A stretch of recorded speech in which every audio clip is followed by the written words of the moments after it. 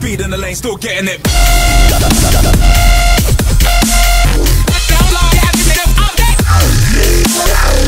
Hey guys, it's Hazmatt03 here, and today I'll be bringing you a, a, video on just normal creative on how to make a very simple TNT cannon, but it shoots really far. Okay, so what you'll need is some wooden slabs, doesn't matter what. I recommend obsidian if you don't want to rebuild the cannon every single time. a water bucket, redstone repeaters, redstone, TNT, and a lever. So here's an example. Just looks like an any or normal, but watch this.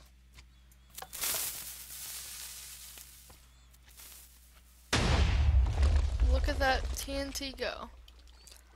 So we're gonna build a TNT cannon over here. Just a little ways away from it. So what you first want to do is go 10 blocks up.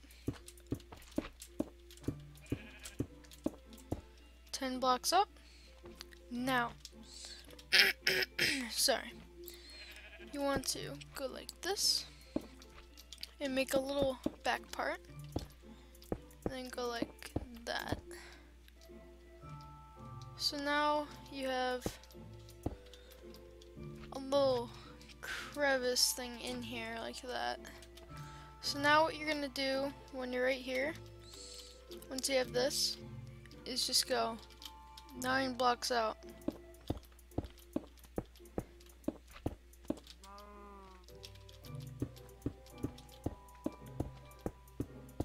Same for the bottom.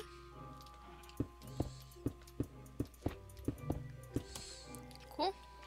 Now, you want to place one jungle wood slab right on the bottom right there to keep the water from going out, but that's not the case. It's not going to be flowing all the way to the slab. It's going to stop right in front of it. So now what you want to do is just get this part set up, is just have a lever right in the back and some redstone that goes up the side over here all the way to right there. That stops right before the slab. Next, you want to go over here, place some more redstone, and now you want to put down seven repeaters. So that's seven, two, three, four, five, six. No, it's not.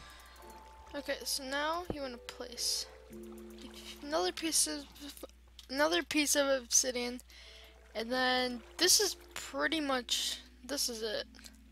You know, you could just remove this if you wanted to like this slash p times slash help.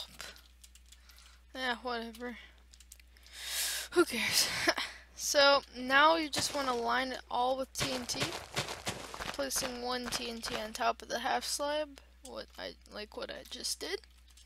Now he just bombs away, and then it just goes for days. Look at that thing go. It went so far, it didn't even hit the ground. I don't even know if that's good, but you know what? It shoots far, it shoots fast, and it does the job. Let's do this a couple more times. Just load it up. Fire.